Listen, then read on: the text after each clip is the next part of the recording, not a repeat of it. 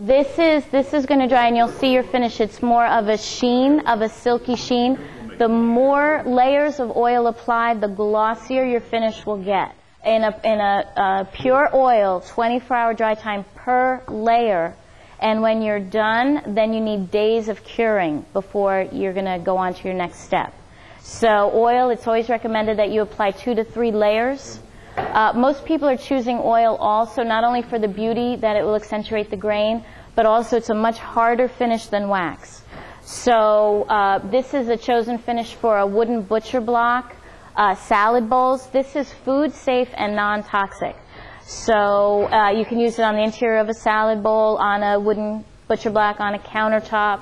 And the more layers you apply, the more water resistant and harder it is. Much harder than. On top of that. Yes, you can. And it's kind of recommended because your oil is taking a great deal of your time and effort and energy, and you'll see as we kind of rub it in and rub it down, and you have to watch it for bleed back.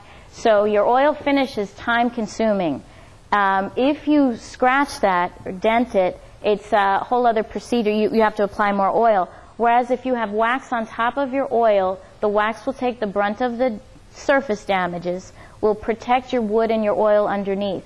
If you were to put down a hot, a really hot pot or a wet water vase or, you know, something like that. So wax is a recommended finish on literally everything except polyurethane. You can even put a wax over a varnish, um, lacquers. So um, basically, the wax is meant as um, your protecting coat. It's your least expensive finish. It's your quickest applied finish. So if that is the case, you want to use that as your surface coat to protect certainly your shellacs and your oil. In the real world, I would do two to three coats, and really it's it's sealed. But you do need to apply oil once a year. So if this were on a nice kitchen uh, wooden uh, uh, chopping block you have in your house, once a year.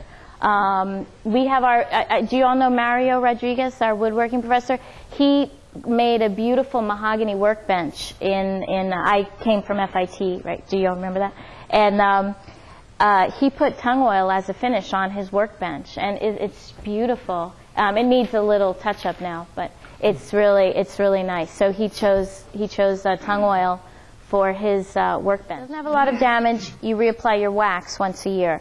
It, if you don't go with wax, uh, definitely your oil once a year. Right. Well, shellac is, is fragile to heat and everything, but oil is actually much more heat Oh, and yeah. water Oh. resistant. At least wait seven days before applying a wax. Well, wha- there's a little water droplet test, and that really that just tells you if you have enough oil. But um, really, it has to do with humidity. It has to do with maybe how much oil the wood has absorbed. Uh, you know, some some woods are going to take a tremendous amount of oil. Depends on how old your wood is. It's it's dependent on a lot of things, but I would wait at least seven days. Fourteen. The longer you wait, the safer. Definitely, the more cure time it has. If you if you have the time. 14 days is great. A month is, is great if you can. We're going to do that today. We're going to make a little, like a little kind of slurry and really work it into your oil. And then we're going to wipe it away. And we're going to watch and see every hour or two we may have some bleed back. So it's almost like babysitting wood when you, when you use an oil. You have to watch for bleed back. Because if that dries on your piece and you come back to it the next day, it's really hard to get out of, even with a steel wool. So you really want to watch it and wipe back um, and then we're going to cut back with steel wool, and then we would go to the next application. We won't be able to do that today. We'll do up until the final, you know, up until before we can do step two. We'll get do all of step one. It can be for something that needs to have a harder finish than a wax. So you would choose a piece if it's having, uh, if it's going to be handled a little more. You choose choose an oil depending on the wood. If it's a very attractive wood, the oil is really going to accentuate that. Uh, uh, where you can do a table in a living room, um, oils are used often in kitchen areas because it's a non-toxic finish. Um, you know, it, um, if you have any piece made of walnut, a small decorative piece, a piece that's turned, or, or a little box or something, let me just mention, did everyone get tung oil except Lori? We have also, which you're welcome to try, is a finishing oil. This is pure tung oil also with a resin dryer. So your dry time with this product is four to five hours. So you can choose something like this if you were in a rush, if you had to finish something, if you needed to apply three coats and you had two days, something like that. So I, I'm going to just use this. That was one coat. That's Van Dyke crystals, yeah. But also keep in mind, that's like a really soft grain. So, but it, what happens when we do Van Dyke crystals is you can mix it absolutely to strength, as, as thick or as thin as you like, for a, as dark a color or as light a color. Warm water. Warm water. It's so beautiful to dissolve. It, it was it was um, just that piece of wood. It wasn't treated really, wasn't sanded or anything. Um, planed. I took a simple lacquer brush, which we're going to do right now, and we're going to put on a generous amount. We're going to work it in with a very fine. This is the finest I have. Grit sandpaper. Make a little slurry, and then we're going to wipe it away and we're going to start to build the silky coats, feels like. You can stain before you use tung oil, You absolutely can stain, yes. You can stain before you use tung oil, certainly. Any kind of stain? Um, you have to be conscious of the same product can lift the color. So because this is an oil, an oil-based, it will activate an oil-based stain. So you may want to use an alcohol stain or a water-based stain. The next step could lift or affect your previous step. So where an, an oil-based stain and an oil will, it will affect. In particular, I'm using the finishing oil. Now, let me just state that because this has one coat on it, I've already done this, but I just want you to see this. Let's say I put this on two days ago. It's totally dry. My 24 hours has gone by. I've wiped away any bleed back in between. Before I apply my second coat, I want to cut back lightly with this very unique 4-0 steel wool. This is very fine steel wool. This will not scratch your surface. It's also virtually oil-free, which is very important. So uh, always with the grain, very lightly. We're just going to cut back. Um, what could have happened in the 24 hours is little dust will settle and possibly a brush, a hair, a brush, uh, hair from the brush, a little bubble or something. Uh, it, I had just in travel, I have a little white spot from liming wax on this. So just a, a gentle cutting back. I just want you to see how much is put on. If can you guys? Um, where to say we're flooding the surface is a little extreme. You don't want to, you don't want puddles, but you want to put on a generous amount because the wood will easily absorb whatever it needs. Use a rag to apply it. Uh, definitely a rag or a brush. Absolutely. Um, What are you applying? we're applying right now the oil.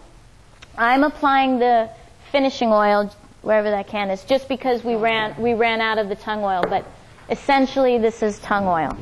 Think of it as tung oil. So we're going to let this sit on the surface. Now we're going to take our hold it to whatever's comfortable for your hands.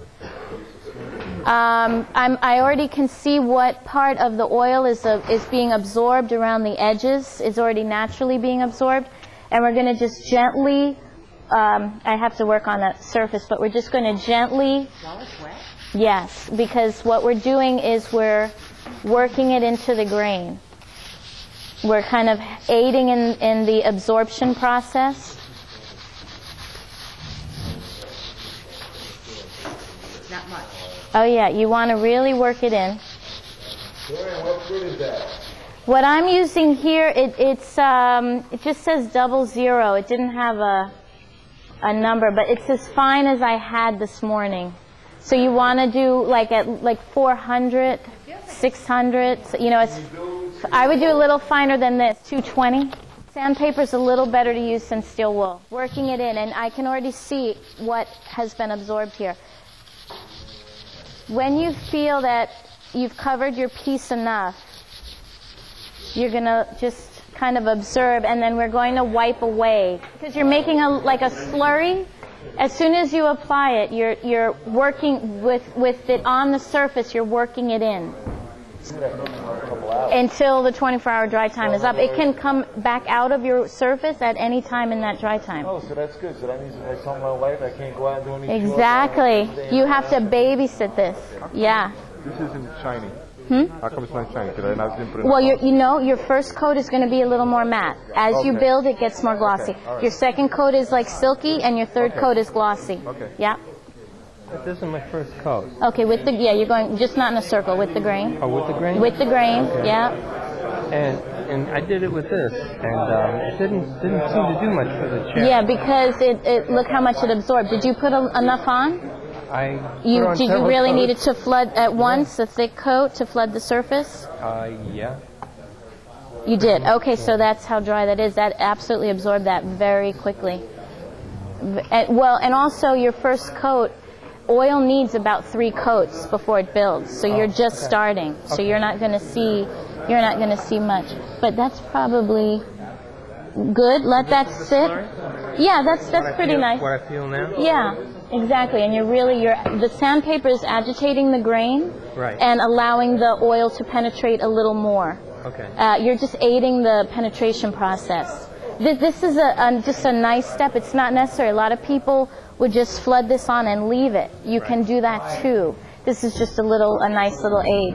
Now you're gonna wipe that bag. Let that rest for like a minute and wipe away.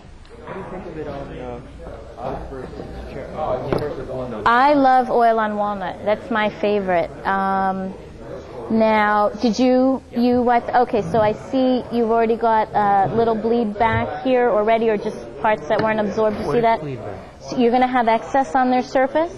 It may not come. Do you see that on the Oh, tips? yeah. Okay. it It may not. It will come out within hours. It, it may not come out immediately, but uh, it will come back out. The the grain will just kind of um, squeeze out what it doesn't want.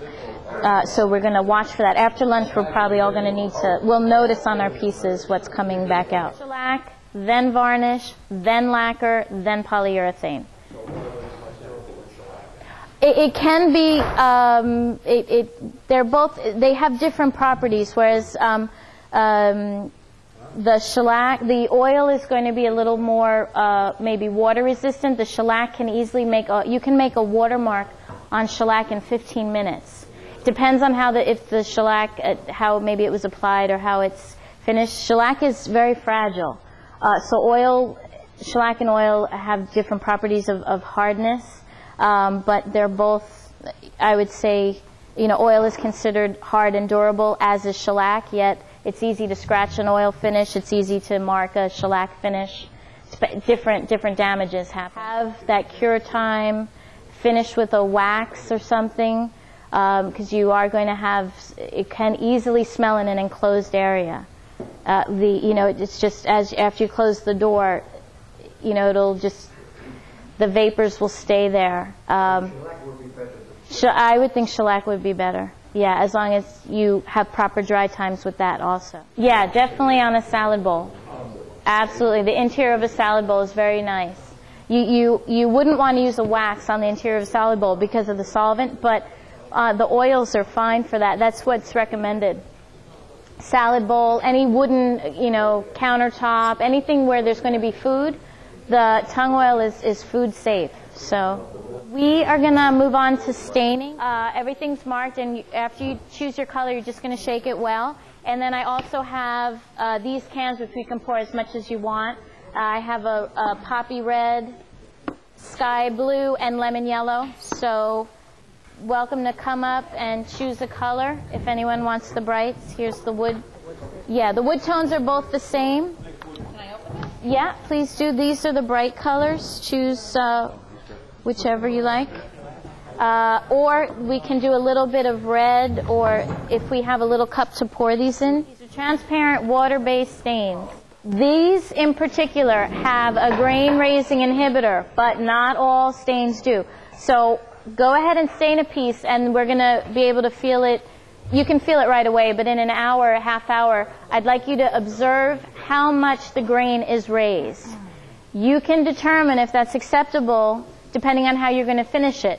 If you're going to go on to some hard finishes, it may not be necessary. If you're going to just apply a wax on top of it, you may want to raise your grain first, which is very simply you get your grain wet with water, a little cloth with water, make sure the surface is fully saturated. Um, let that dry uh, naturally or if you had a hair dryer to speed up the process. And then you're going to cut back with sandpaper. And then you've pre-raised the grain, and now you can go ahead with water-based products. But a nice way to test this is to do one piece where we've raised the grain and one piece where we haven't, and you compare, feel the difference. So, does anyone have a little bit of their wood they would like to do that on?